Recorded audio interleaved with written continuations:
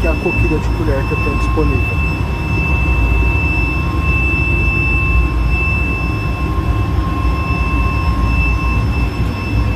Coquilha de colher dupla.